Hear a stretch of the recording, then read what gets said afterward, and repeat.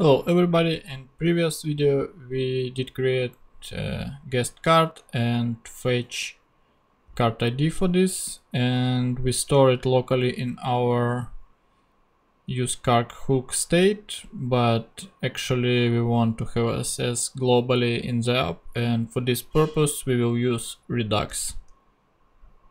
So let's go to the Redux documentation and actually we will need Redux, React Redux and Redux Toolkit. Redux Toolkit is a recommended library. So let's start with dependency install.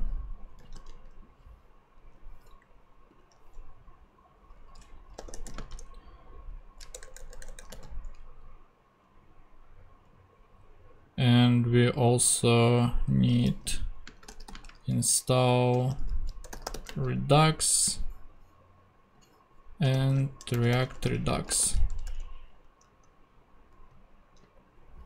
Uh, documentation is really great and I want to use its tutorial intermediate tutorial to quickly create our redux setup and I want to start with create slice example.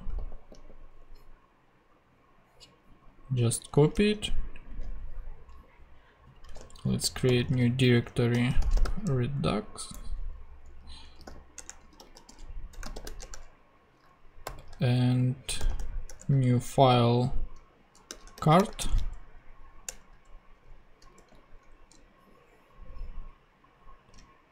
so it will be card slice with name card. Initial state will be card id null. Same as we have in our state. We will have only one action set card id for now and state card ID will be action. Payload. Action will be set. Set card ID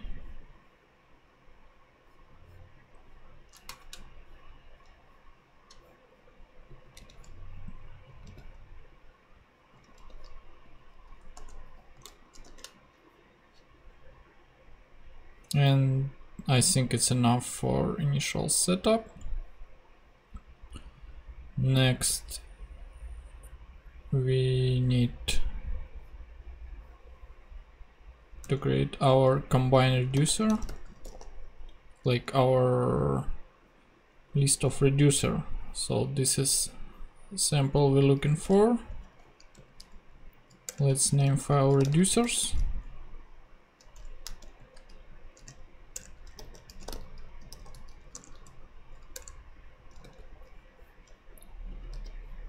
we import from cart cart reducer. And let's name it cart cart reducer. So now it's only one reducer but as app will grow we will add more here uh, now we need to create our store. There is configure store function for this.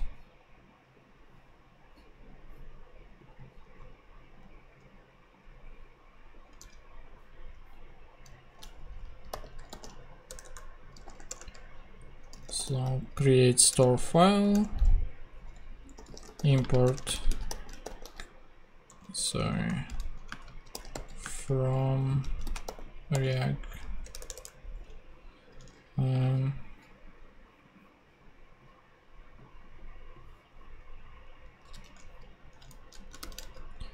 yeah configure store from redux js toolkit. Configure store and there is options. For now options will be reducer our uh, root reducer which we we will import from reducers file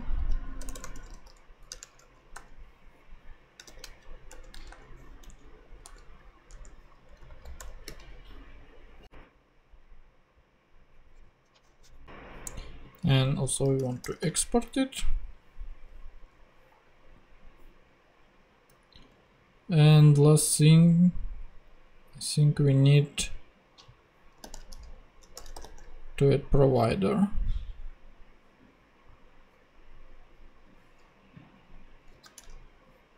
In our app component so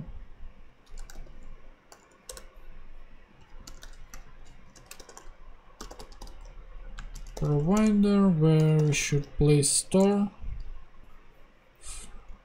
which we just created and wrap our components here.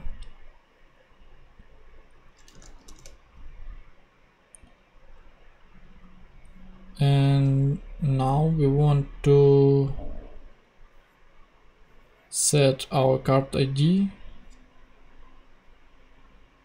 get and set card ID to the store. So we have set action and we also want to select and we can use create selector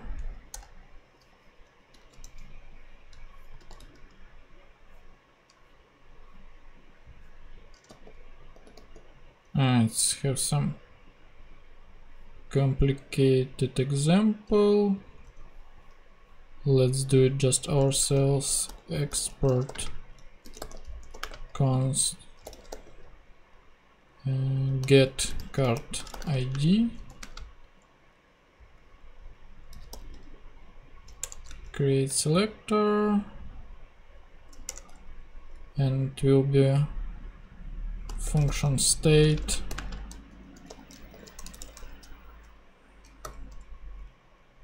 state card I think and card card ID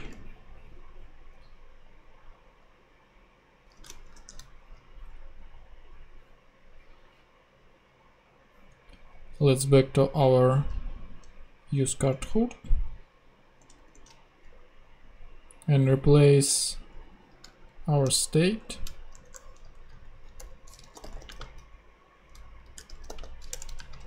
card ID with use selector from React Redux and we can place simply our get card ID selector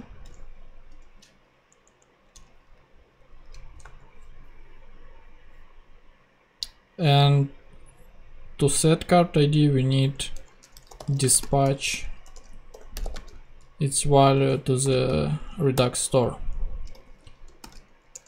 So let's use use dispatch from React Redux and dispatch set card ID action which we get from our slice. Now we can test it if it works. We used card ID here in the root stack and let's do the same for example in product details screen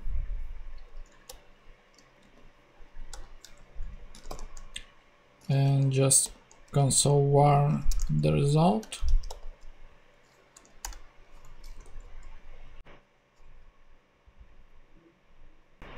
And maybe also console warn.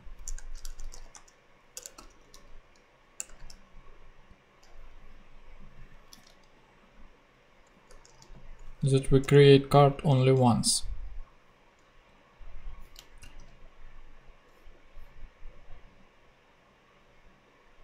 So you see, we did create the card. And now when we go to product details, we have the card ID and it's same.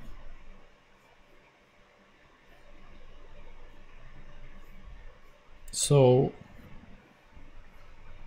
we create it once and take it from our store. And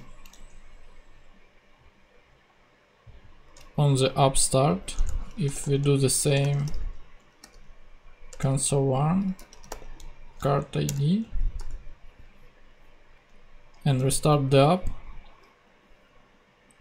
you will see it's null at first and then we fetch new card so basically we don't want such behavior like each time we open the app we create new card so we would like to uh, persist this card state. There is a library for this. React native. Redux persist. Let's use it as well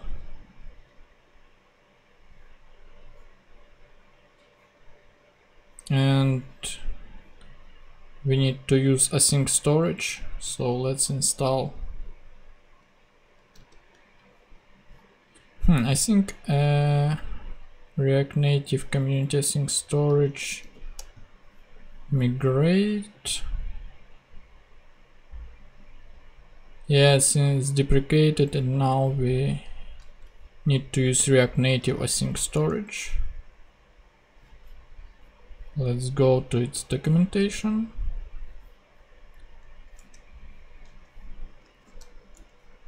so install async storage and meanwhile let's back to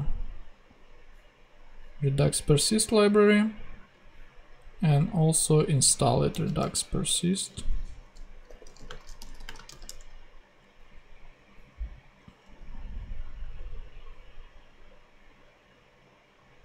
And here's example of usage. I think we also need to install pods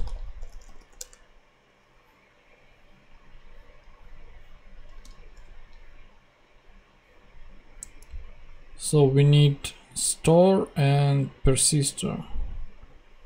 And we need persisted reducer. I think let's just copy everything from here. And go to our store. So we don't need create store need storage. Instead storage we need async storage.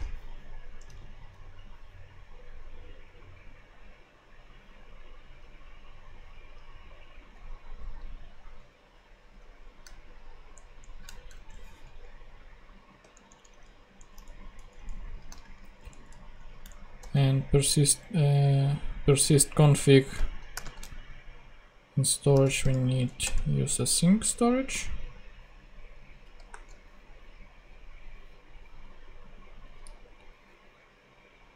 In our store we need to use persisted reducer so let's use persisted reducer here. And create our persister also export const.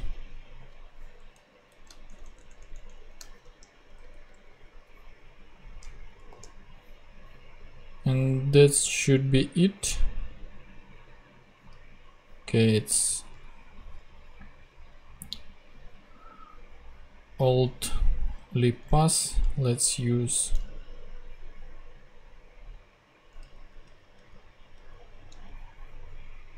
correct one which we install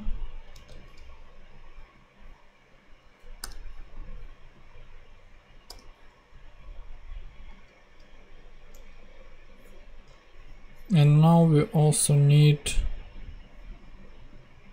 to persist gate inside our provider. Let's also do this let's back to app component.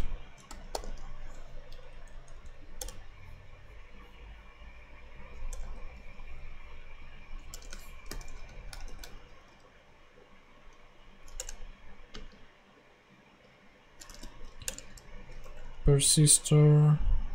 Will be persistor. And loading null for now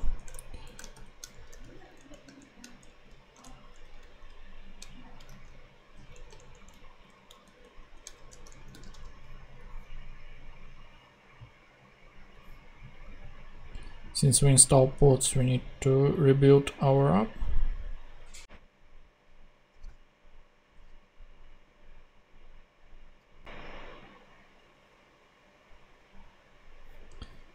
And you see there is an error.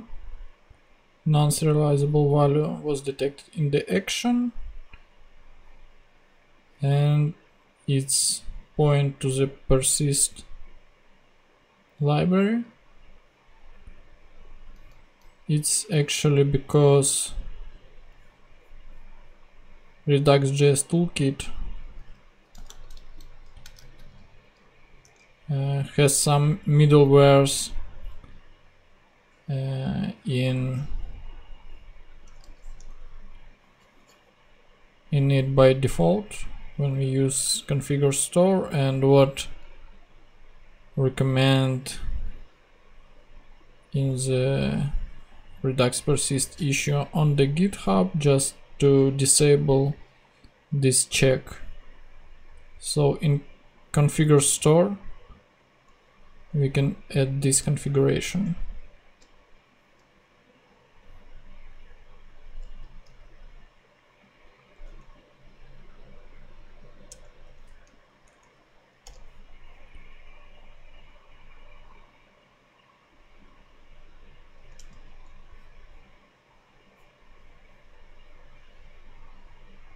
sorry just maybe this one.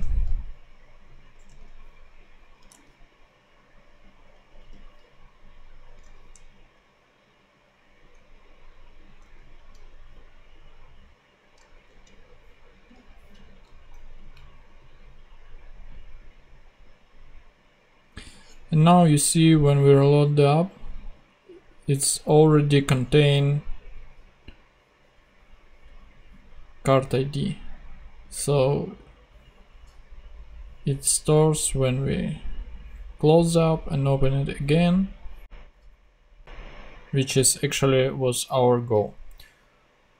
That's it. We'll see you in the new videos